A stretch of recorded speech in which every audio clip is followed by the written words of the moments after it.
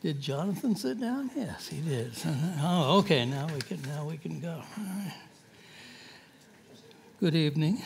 Um, silence your phones, please. Thank you.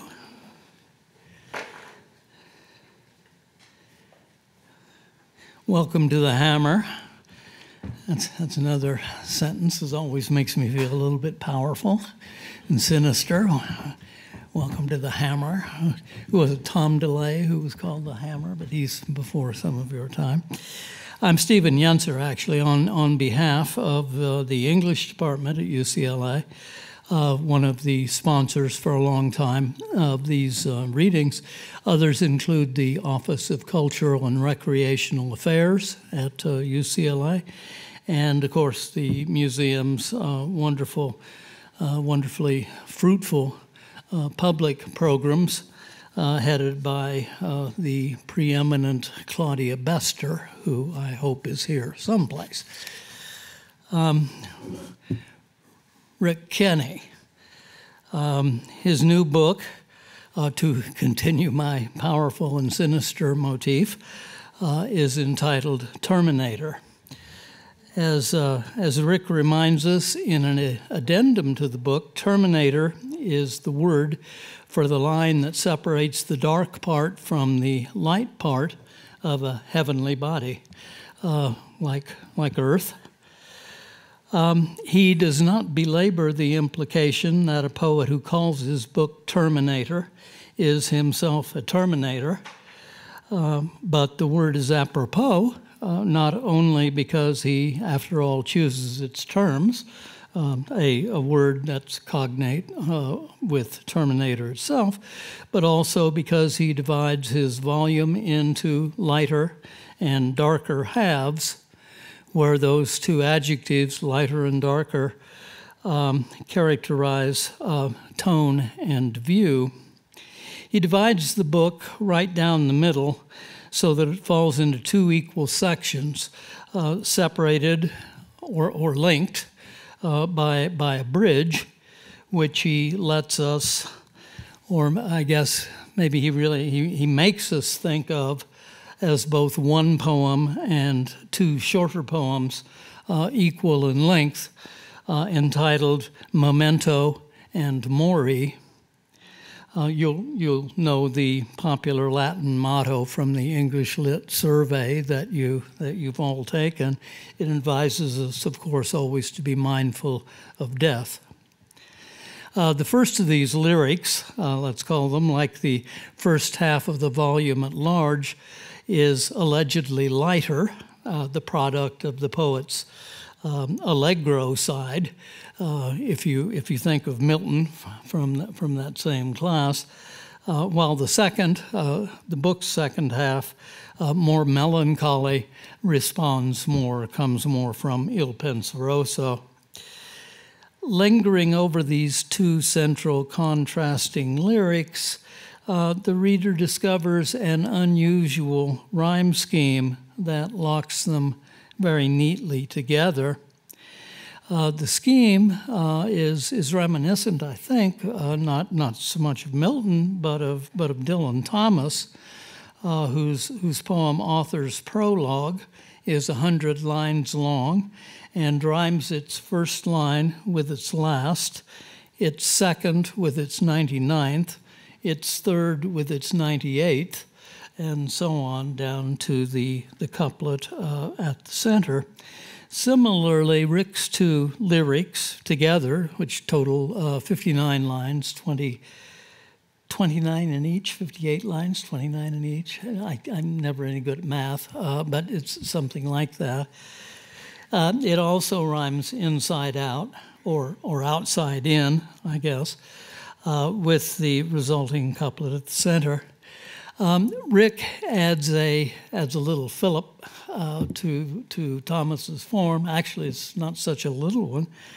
Uh, Rick's rhymes are identical rhymes, so that the last word in the first line is sky, and the last word in the last line is sky, and then the last word in the second line is I, and the 99th line ends in I, and so on back to back to the middle.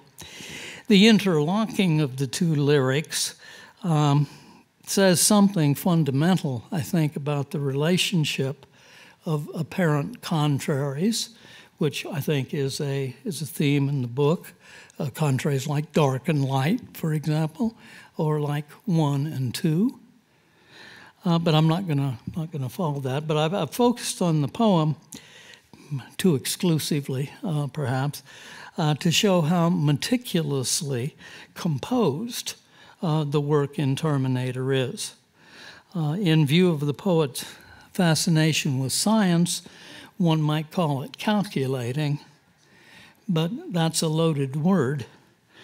Uh, but then almost all terms are loaded, and Rick's palpable relishing of that kind of load, that overdetermination, is a distinguishing characteristic.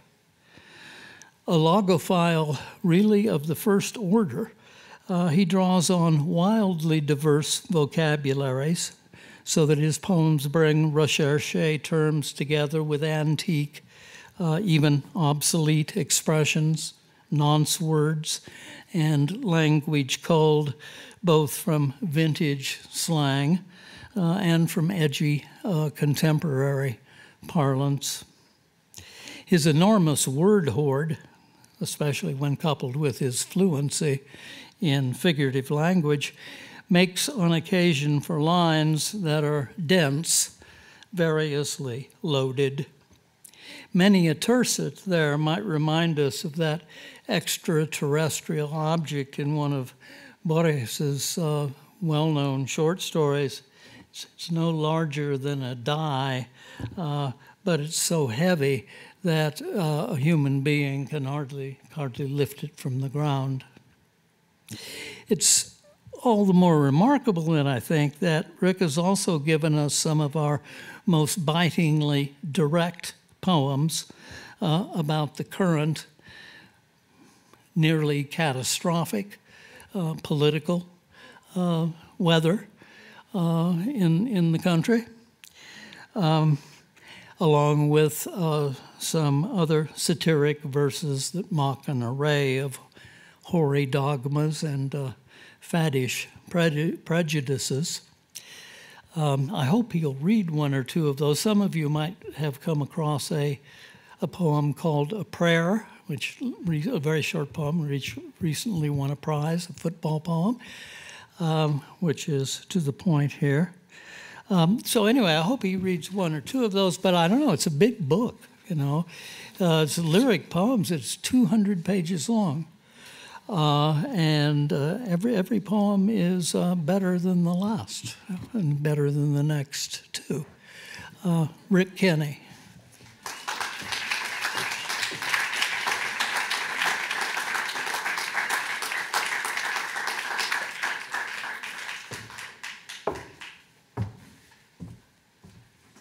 Thanks. Thank you, Stephen. Um, I was here once before, and I had a I had a lot of fun, and I, kind words from you are worth a lot, so I, I sure appreciate that. Um, I was planning to read from this doorstop uh, of a book and nothing else, but since you said, I think I'll start with a political poem. It's, it's in two cantos. The first is called The Statesmanship of Mitch McConnell. The second is called Profiles in Courage the Republican caucus of the 116th Congress of the United States of America.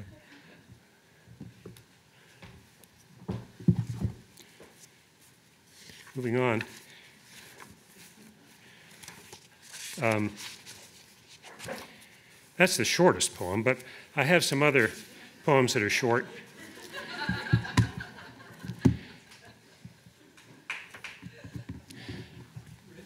Yes. Oh, is it hard to, can you hear me okay? That better? Okay. Uh, well, you heard the first one all right anyway. Um,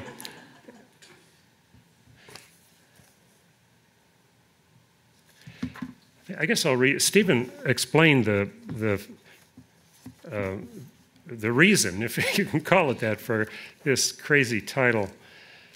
Um, this is an outtake I managed to get it in.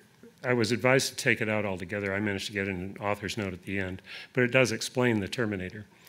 Outtake concerning this book's aggressive title. Hat swoops to Hollywood. That's de rigueur, I guess. Regards to Mr. Schwarzenegger. By all means, no mens sana meteor. My title, though, see Wikipedia, refers to the other firmament, where a moon's chiaroscuros curve like nesting spoons. I'll illustrate. Pretend it's night. Look up, like the man moth, eyeball pressed against the egg cup moon. Now gently drape your optic nerve across that vocative like so, not curved across the middle like the letter theta, that's as any kid knows the equator, but rather pole to pole like uppercase, like uppercase phi. That line's the terminator. It defines a moving shadow, shearing light from dark, the day night line. You'll note its crawling arc, which sickles everything, bisects this book, too, the valley down the middle, if you look.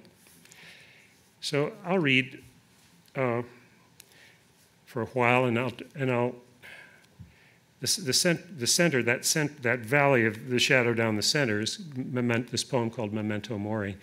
And uh, the poems on the left of, of it are by and large on the light side. I have friends who, well, don't forgive me for that. Um, I have a weakness or a fondness for light verse, and uh, some of, some of my friends feel it's an impeachment of the seriousness of fundamental lugubriousness of the art of poetry. Um, but, uh, but it's a little hard to put a book together with them. Sometimes they don't play well with the more serious. At any rate, the poems on the left-hand side are, are, are, uh, uh, are lighter, and the, the poems to the right of the Terminator are more on the discouraging side. I'll try to give us a little lift before we, before we leave. So. Uh, and the, the book is, is designed and has five chapters on either side of the Terminator. And they're, they're mirrored uh, like that poem is. And so, and they're, so the section titles are the same on both sides. So they're, they're personae on one side and personae on the other side. But the feeling is different. And the, the chapter sections are, are each uh, headed with uh, little tiny poems. They're, they're really 17 line poems. They're a friend of mine calls them faux ku. They're not haiku, but they're structured like that. I call them hermit crabs. They're really more like epigrams that have crawled inside the shell of a haiku.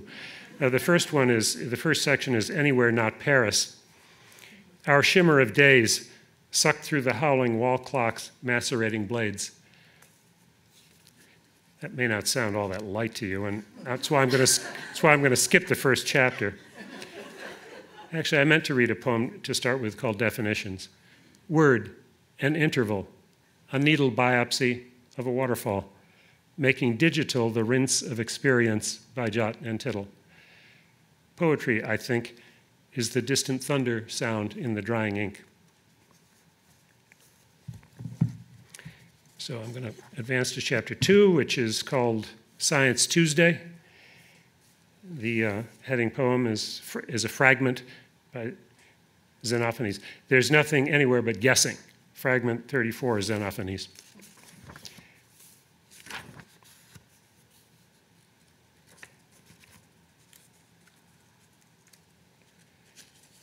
Read too many of these.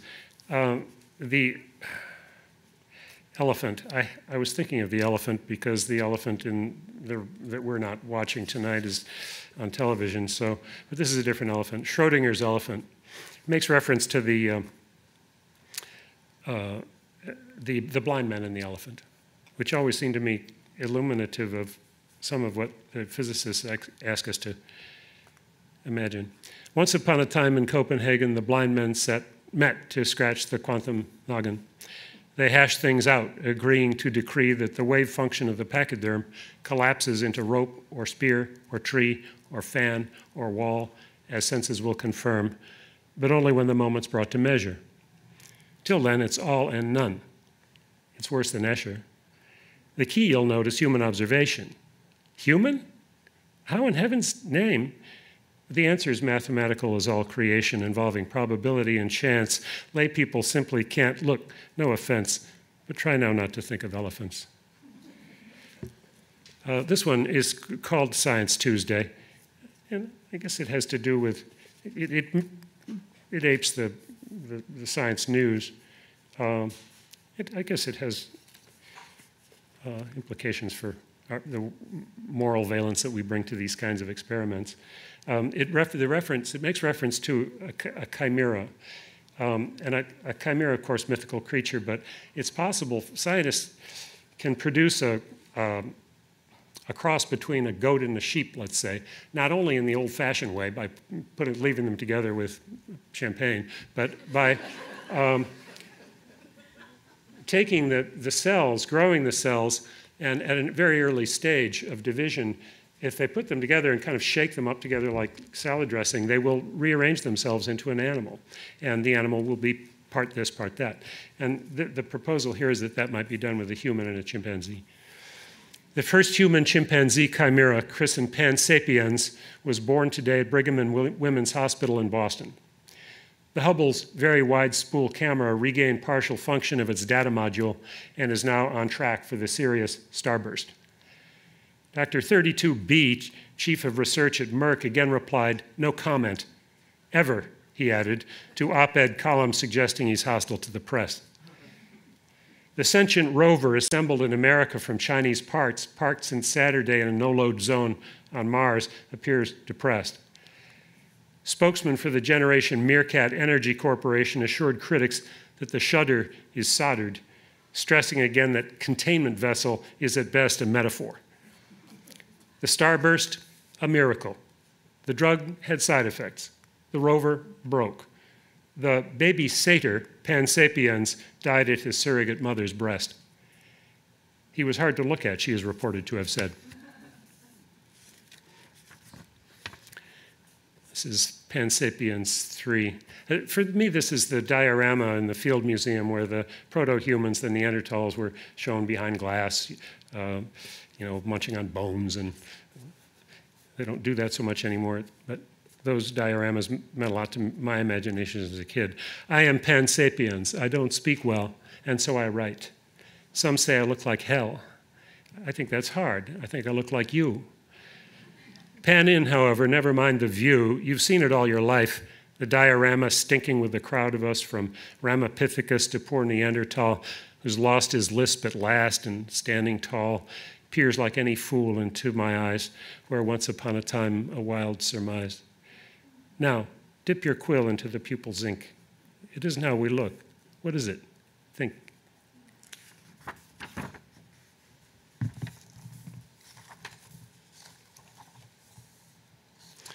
Ecological meditation, or space is closer than Chicago. Even from Peoria, much closer on the flat.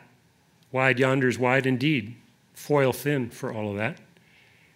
The mountains puncture most of it. They're human climbers, too, who wriggle dressed in oxygen to a sky scarcely blue, where helicopter blades won't bite and sound itself thins. A 50 minute walk at most on legs which once were fins. The sea is similar, whose deeps a dipstick shows as shallows. Wet an apple, that's the earth, a scarcely moistened chalice. What to make of thoughts like these when the mind wants a yonder wide enough to hold itself? I don't know. I wonder.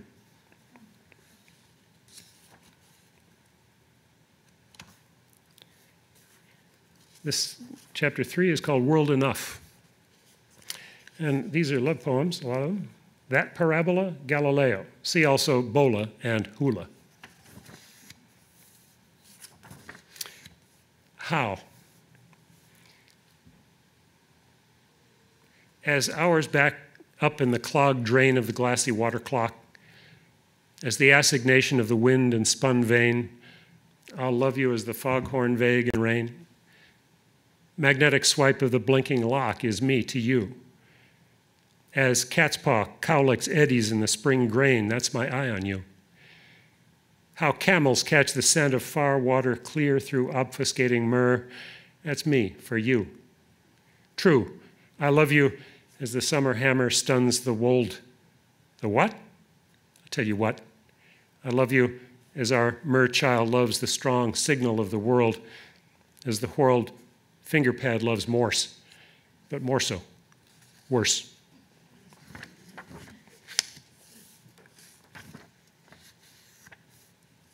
Cave reversed.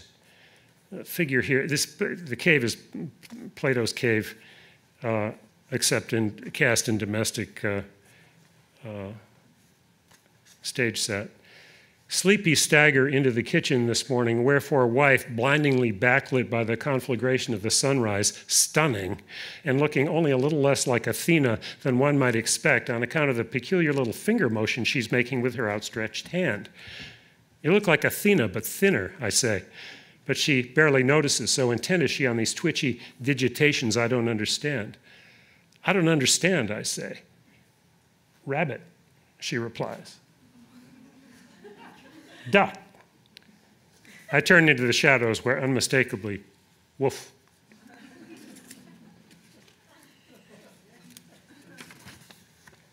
Here's a faux ku for you. Wolf, not yet. Wolf, not yet undone, lies abed with Riding Hood, reading Jack London. Uh, this poem is titled Canis. The, the, that's the genus name. There are two species that, that are around the house uh, nowadays. One is Canis uh, familiaris, who is the dog, and the other is Canis lupus, who is the wolf. Seems to be making a comeback. Anyway, this is a conversation between Canis lupus and Canis familiaris. Lupus.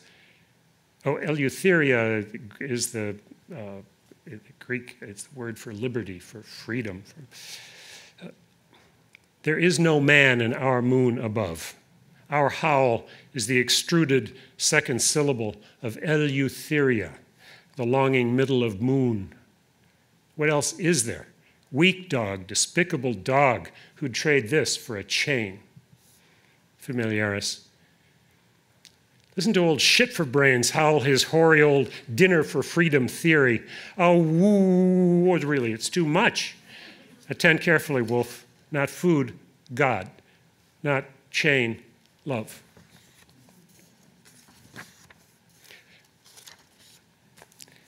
This is a couple of uh, short of these faux ku, haiku. These really are more like haiku.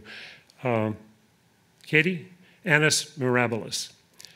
Tumbling octopus traces little braille cursives under a hand's press. Two, cackle and snort. Listen, child, my lamb, laughing in your sleep. I wish I was there. I am. And little crime.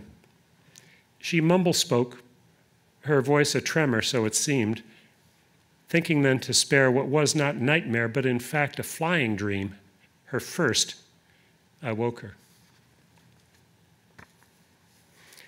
And this is called Gone World.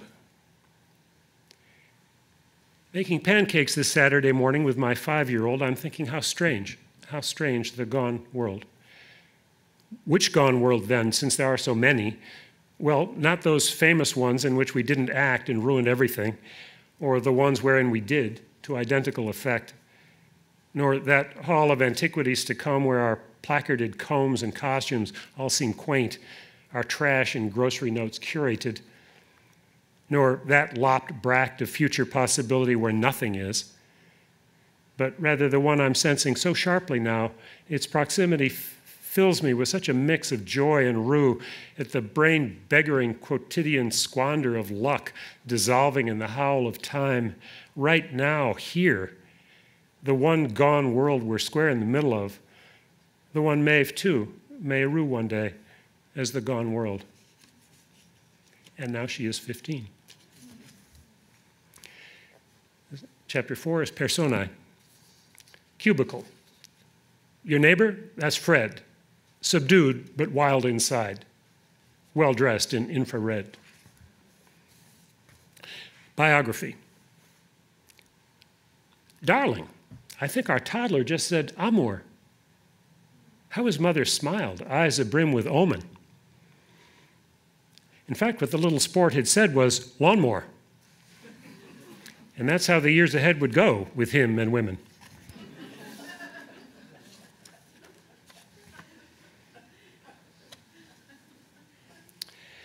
um, this, uh, is this about an English department? I wouldn't say so exactly, but there may be an inconsistency that I'm noting. We like our poems, even verse, if they're transgressive and subversive. We love their sexual, unsober maunderings as of a toper. We ever valorize an other, whatever fashion deems our druther. We love de trop like Oprah, yet abjure the inappropriate.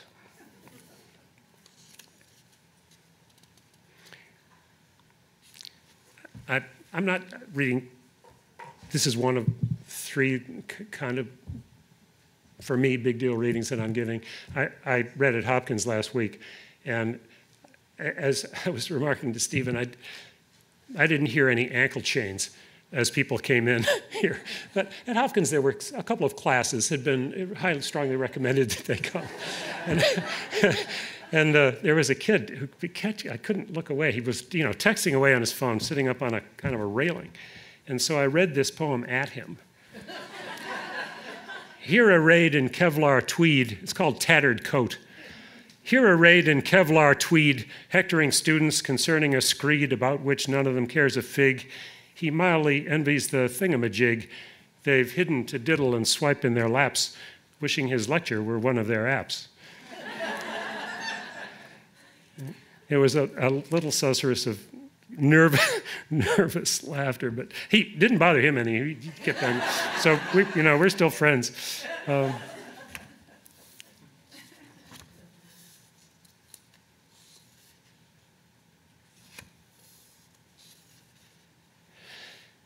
over coffee. K is often getting cancer. Conjured tumors swell and ebb, like rumors do when worry answers night's alarming aches abed. Cells dividing everywhere below the microtome of time. No, DNA must needs beware of anything but perfect rhyme. So K describes her symptoms, patients, ghosts, sarcomas, waning, wax. The morning's mortal intimations, K's, again, conturbat jacks. So breakfast conversation darkens. Years go by, they have little time. The pillbox rattles, lines of Larkins flit uncomfortably to mind. All patterns in a life may shatter. Rarely is it really cancer. Never mind the doctor's data, dread is dread, and love should answer. Self portrait in lemon juice. Portrait of the artist po post op. Stephen and I have been jawing, as old guys do, about you know their health issues. I, recently had a couple of knees put. Portrait of the artist post-op. Post-op, I'm pure style. Mona Lisa Deshabille, oxycodone smile.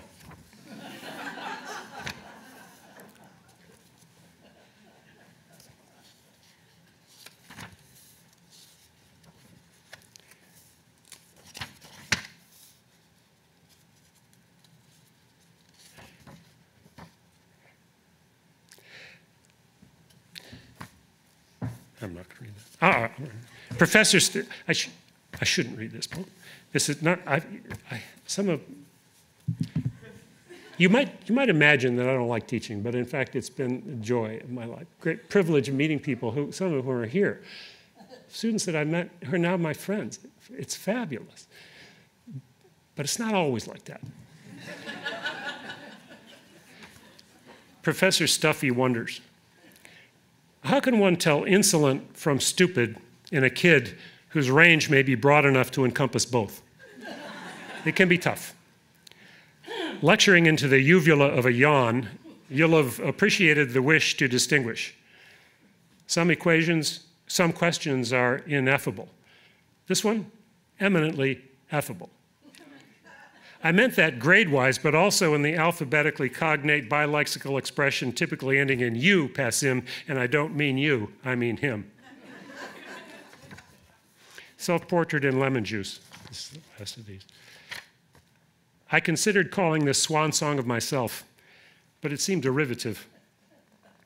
And I'm resolved to be original in this my art, if not in this my life wherein from start to finish, top to bottom, late and soon, I may be a bit of a William Steig cartoon. And that's not bad. Of the many things I'm not, hero, rogue, Roshi, astronaut, there aren't too many that I really rue. I'm mostly glad that I get to be with you. But back to what to call this manuscript. My title's strange, I know. All inks encrypt, including blood. Myself? My song? Whose? Lie, here writ no one name in lemon juice. And the last poem in, on the left side of the, on the light side of the Terminator, shading forward, is called Leadership. Uh, say about this. Um, thunderstorm, dog by the bed, dog nose in the eye. The chimney is hoarse under doors. The weather stripping's loose. Another lightning flash, grumblesome Zeus. Twice I've woken with a wet nose in my eye. Poor dog, he quakes with the sky. He's just thunder, old pup, I mutter irritably, his fallible pope. I call him a cowardly cur. I counsel courage. I advise him to master his fear. To hear is to obey. He obeys. Aye, aye, boss, he seems to say, with his crazed eyes rigid, shaking uncontrollably on the floor beside my bed. I'll try, but you don't hear what I hear. And now we're at the Terminator. Now, this poem, I, you've probably seen these things. They're. Uh, I was, I think it was in the Uffizi that I saw this. It was a painting, a Renaissance painting done on corrugated wood, a surface of corrugated wood, so that the, the surfaces were like this. And on this face is, if you look at the painting from this side, it's a beautiful young girl. And if you pass in front of it and look at it from the other side, as you know, it's skull and bones. And this is the memento mori you see people walking back and forth, and there's a center place where she's neither, and then she resolves into the death figure. I, I, I was thinking, I wonder if I could do that in, in, a, in a poem, and how would I do it? And so I wrote this poem, which, as Stephen explained, is the same forward and backward, but it reads differently. It feels, it feels quite different, I think, in the forward direction as in the, uh, the other direction. And, uh, and that's the valley, that's the terminator between these. It changes the book memento. Rattle, rattle and dirt, sky eye, tongue, milk, blank slate, blank mind, the baby. Sweet baby, that's the day you're born. The bone in the old joke seem barely apparent. The chuckle, that cackle whose point time sharpens so, so what? There's time, years, see? And now you're shaving. Note that razor hands of the stopwatch strop to sermonizing tyrant time. Why ever? Just so, bored, half dying, we must endure no dotard nor crone, but croak their quaint, endless, querulous, jealous, dyspeptic displeasures, no doubt. No matter for us, though, we're young. Let crooked teeth grin, wink the world's eyes, whistle past the headstones forever, and kiss a girl whose lips whisper love. Whisper love and kiss a girl whose lips forever whistle past. The headstone's crooked teeth grin. Wink. The world's eyes matter for us, though we're young. Let no doubt, no endless, querulous, jealous, dyspeptic displeasures, no dotard nor crone, but croak. Their quaint dying we must endure just so. Bored, half sermonizing tyrant time. Why? Ever note that razor hands of the stopwatch strop too, and now you're shaving years. See, there's time. Time sharpens so. So, what, the chuckle, that cackle whose points seem barely apparent, the bone in the old joke? It's the day you're born, sweet baby. The baby mind, slate blank, blank tongue, milk eye, rattle, rattle, and dirt sky.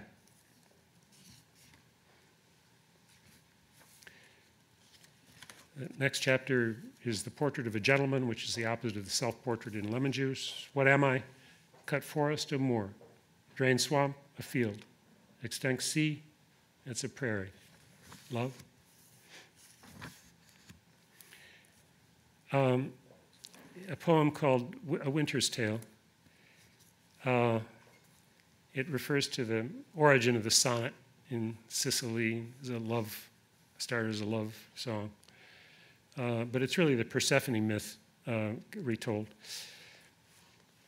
Once upon a time, on unicely in Sicily, so the old story nestles hearthwise, Earth stirred, birds stilled, wind hearkened in the sterile wild until at last it caught a new sound.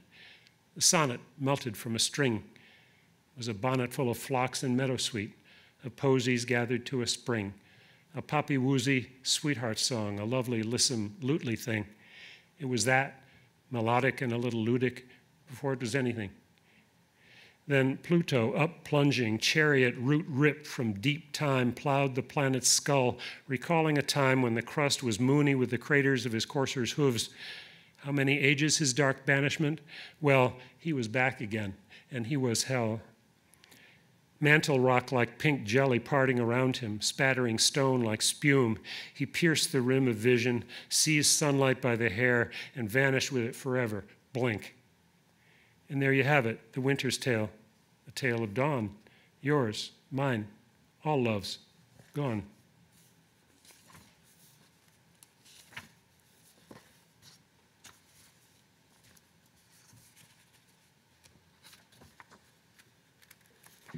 I won't read any more of those. This is Personae on the other side. From sound sleep, Isaac cries out. Again, father's eyes hung with icicles.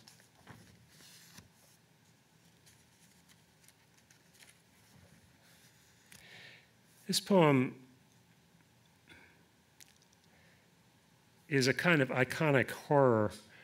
Uh, a girl, from a distance, it appears that a girl is surrounded by a group of adolescent boys who are, and the talk, you hear some of the words, and they're not nice words. But pretty soon we realize it's something different. Ask me anything. Half a dozen boys surround her, laughing uproariously. They egg each other on. They make improper suggestions, which she counters with impertinent repartee from Cupertino. We're not afraid for her. She's Oberon. She's Circe. She's Siri. Who knows we know no misery? The whole thing gets repetitive. The voice changes. Now we're afraid for the boys.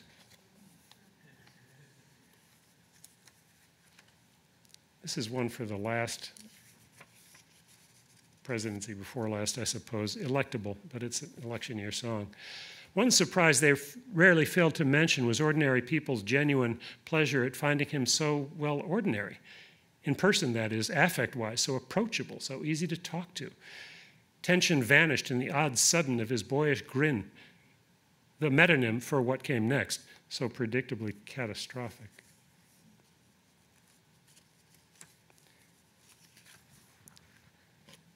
the bad joke that depends on what. This begins with the best pun I ever heard, which is, um, as Stephen will recognize it from James Merrill, uh, time, that Everest of concepts. Um, that Everest of concepts, James Merrill, that's the rub, the subject, the doubless lub of the heartbeat held at the hyphen. Here's the feral snarl, the animal trapped in time, that lupine look, that cornered look, the occluding corpse coin sliding like a manhole cover over the lapis sky. This is the line that won't scan. All those metaphors involving roads and rivers and spinning and spools and threads and scissors. The can't can't dance in the lap of luxury, lazuli, verso recto, respecting the he heaven and its blank unintentions, the rectal thermometer of this cold, howsoever unavoidable thought, change, that wind chime, the far chime, that's what I'm thinking, oh best beloved, and it's about time. Afterlife. Take this as a diagnosis. On time to the strike of a silent bell, inside the chapel of the cell, the heretic is whispering. Spittle flickers on his lips. The lizard into shadow slips, the winter wasp staggering. Soon the lymph begins to leak Telephones commence to speak the stars back to their westering. Earth laps up above the shins. Another afterlife begins, which sometimes feels like lingering.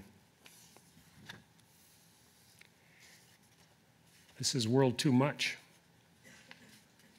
The epigraph is Hobbes obtrudes, Rousseau recedes. Father, the mirror mouths, I told you so.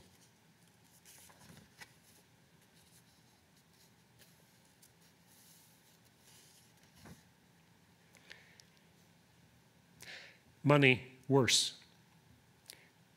Money is killing the world, you worry? Ray, murdering democracy, oiling the shore, shearing the rainforest, fracking the aquifer, quaffing the rainbow from the bloom of the future. Arrow of dream. Drum hope, we're thinking, draw straws at which to clutch. Cash rules, they say, but wait. Fresh news now seeps up from the interior, the shattered hypocaust of history, I mean, an omen. Money hath a master. Money to unreason stands. Hands down, ideas trump money. Moony hope stabs the gloaming. Long nursed, nascent optimism stirs. But is this good news, really? Rifles crackle in the nearing distance.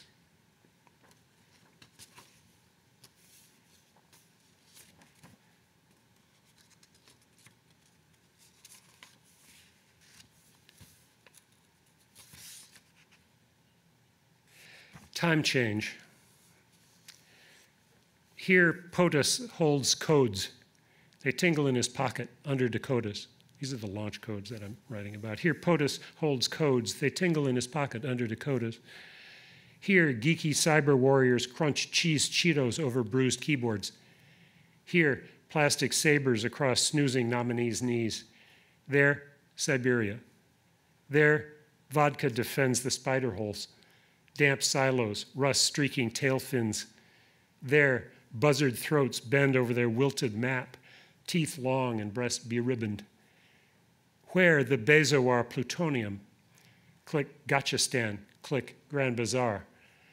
There, no God but God. Click there, click here, click the speakeasies of Riyadh. Here, POTUS holds codes. They tingle in his pocket under Dakotas. And this is diptych unspoken. A scrap of rainbow caught in a cobweb? That's soul and nerve a quiver. A sky akimbo in transmuting isotopes? That's never, never.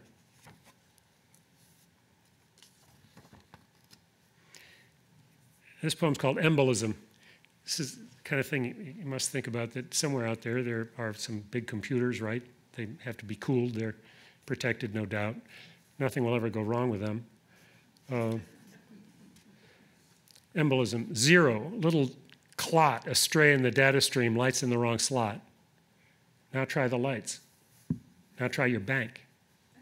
Look up, contrail scar sky. Why? What now? Section is called Rome. Sales spike with the toll Again, guns flood the system like black cortisol. see how I'm doing.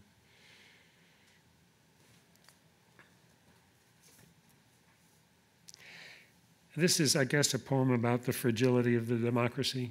I'll read a few poems that are about this. As kids, we're taught it's safe as pyramids unshakable and permanent amidst a sordid history, a mock with ids frocked in all those lesser ocracies the mind of man has proffered up, all crazy and all doomed to end up like the auk. Plus, it's Athenian, we think.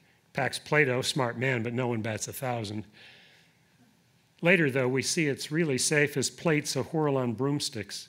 Trump and now we're all ears, waiting for the fools with whom we've quarreled to aggregate a mob for all the world like all the mobs in storybooks. The slaking rage that spatters from the joke when Loki rules the moot. We thought it was okay, thought nothing could go really wrong. We thought the fire we played with wasn't all that hot. We thought we could control it and could not.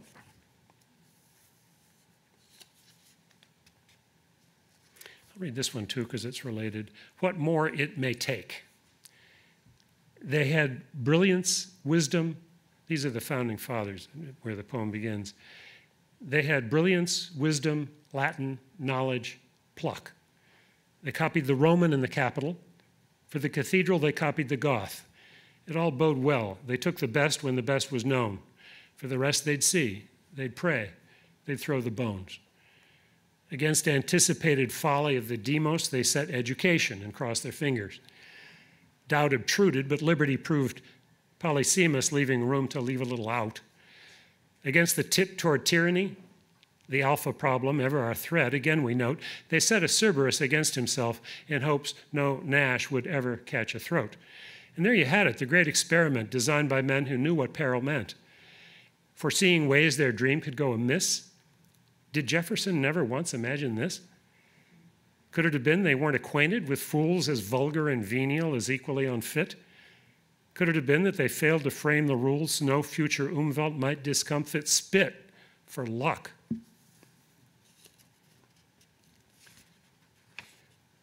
Boy toys. Look at the tiny senators. They almost could be real. Their action figure joints so smooth, see how they kneel. Their smiles are a little rigid, maybe, but their stomachs sure are strong. Let's try to remember when the big boy's gone, who's gone along?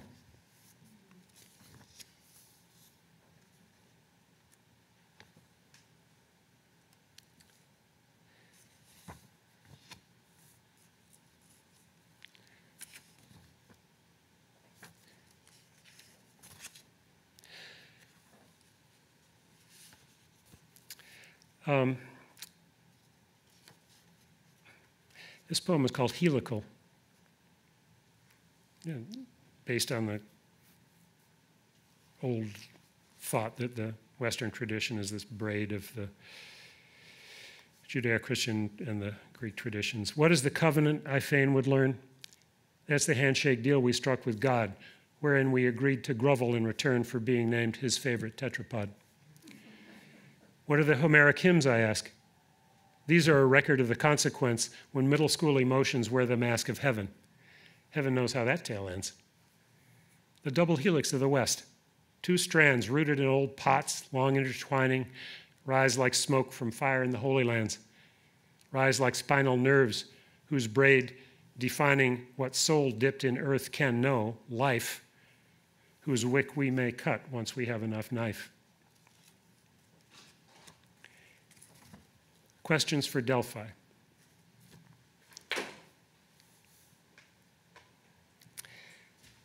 Sing Muse.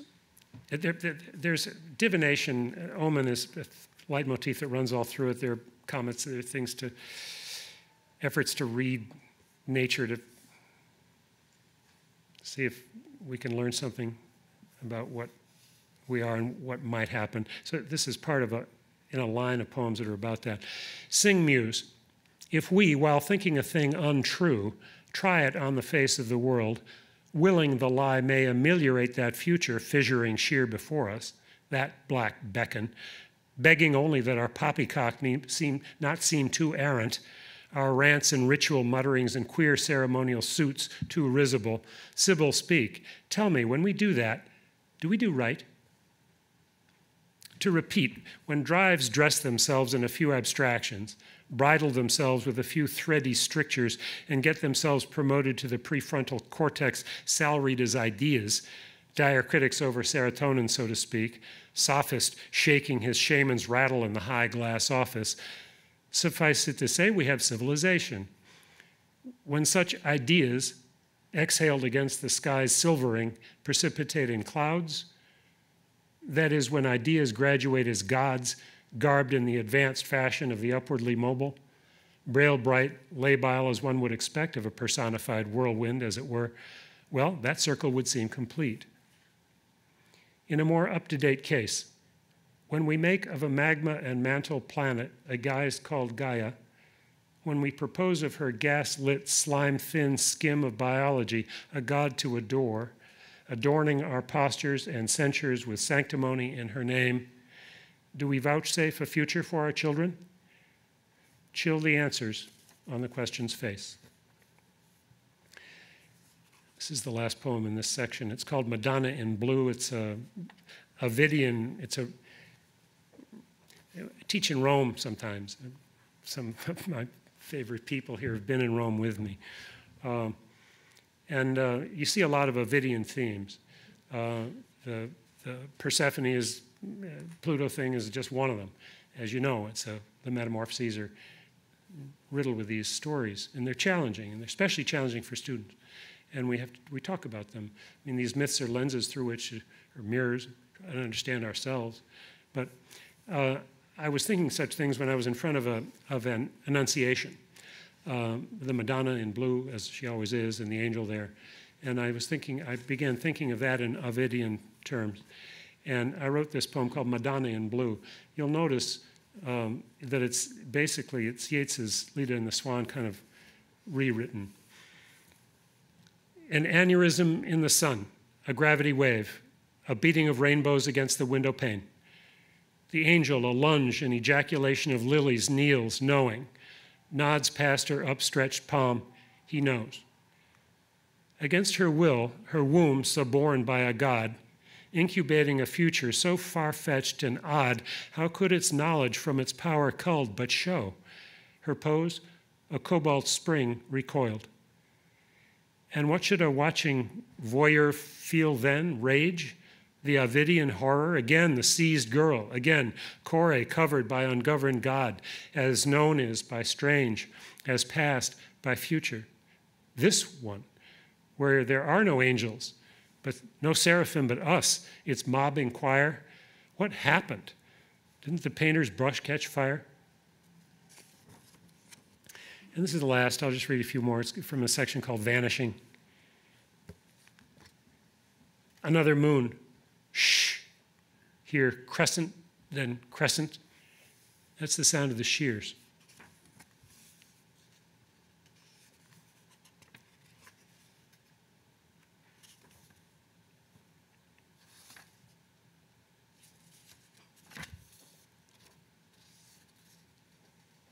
Well, maybe, uh, Stephen, you spoke of this poem before. Maybe I'll read it. It's called Good as a Mile. It's in a couple of different sections. The verse changes. You can hear that. The sky replies to questions posed by human senses, only those. The sky is coy that way. It gulls, it flummers to the human pulse. As nights are that which is not days, the mirror dimples to our gaze. Cast and casting, call, response, candle, daylight in the sky sconce. I should say the candle and daylight is a theme that goes through the book. Askance I saw it then. How else? The steering wheel was carousels. Our complement is all outdoors, a fair likeness too, of course. Here's a story, by the by, of how a mote caught in my eye. Today, driving, I glimpsed the moon, half moon to be more precise, small smear on an afternoon. And all of a sudden, as it struck my eyes, it wasn't the moon, man tracked, myth worn, penny sized, nor retinal nick, nor rime on rune, but a rock on the windshield, white as the Christ, an immense, nonce, fully round, planetary thing, locked in a gravitational partner swing with everything. Not the moon, I'm telling you, not a pale communion wafer, but an astral entity, curving, stippled, dented, an entire rock sky yawing steeply away on the shadowed side, adrift. It was bigger than gibbous. It looked sensational as one of those artist's impressions of Callisto rising as seen from the surface of Ganymede. It felt like science fiction. I almost swerved the car. Can I hope to make you see this as I did? Haven't you too yawned late to witness what? Some astral smirch or other, forecast aurora, aphelion eclipse, the guaranteed closest approach of Mars or Jupiter, or any dirty comet pinking its horizon per advertisement, commending mine to Empyrean, murmuring wan words like there, then there, forefingering night, well, haven't you? And just as in this failed linguistic instance, missed it.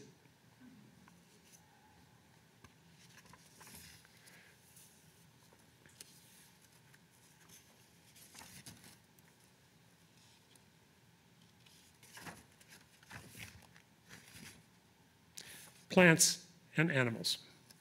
Consider this. If the fibrillating willow, water as it mostly is, is a sort of slow fountain, that leaves all of us aloft, alow, if granted swifter over the ground, moreover, more of a river.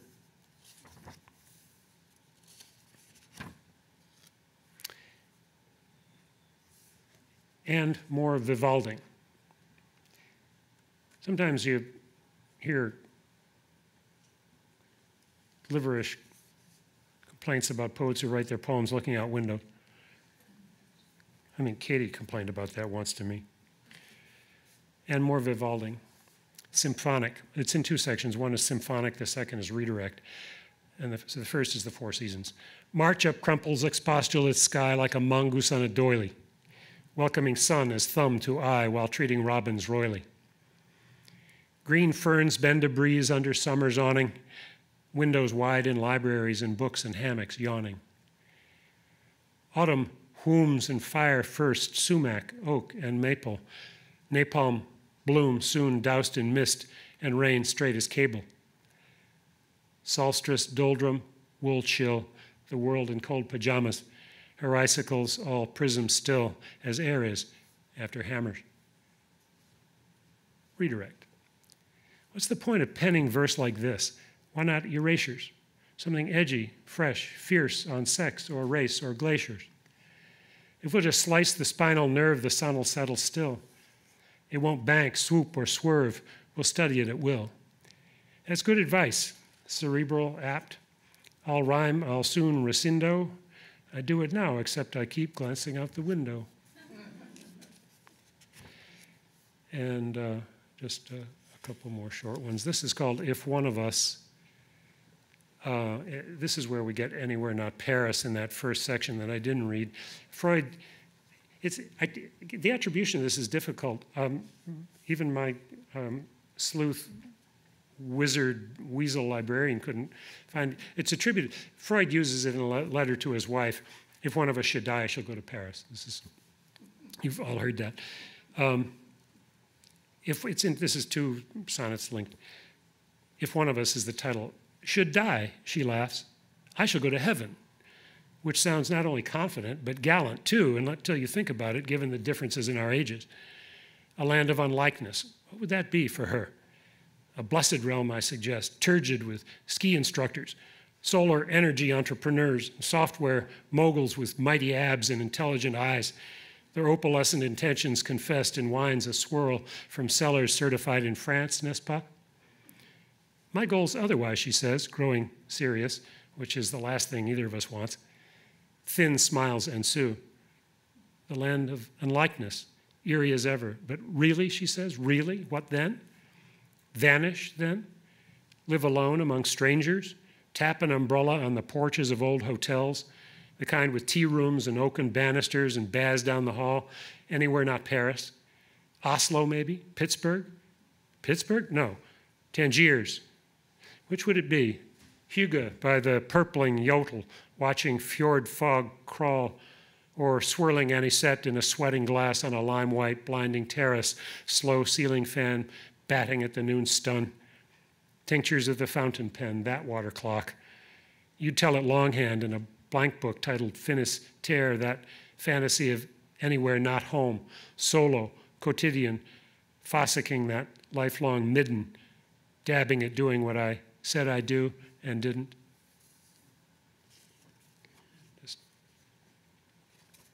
It's called Love this is another figure that there's a question that gets asked in the first section and elaborated through Science Tuesday whether nature does nature have edges. This is a philosophical question. You know, to what degree do our does our perceptorium carve the world, and to what degree is it given to us in more objective terms? Does, the, does nature have edges? Bees thick, it's called love. Bees thick enough to cast a shredding shadow on the grass. Migrating birds on Doppler radar. The little bear above the grater the full moon muzzy through the fog, droplets off a shaking dog. The seconds off the clock's a clot.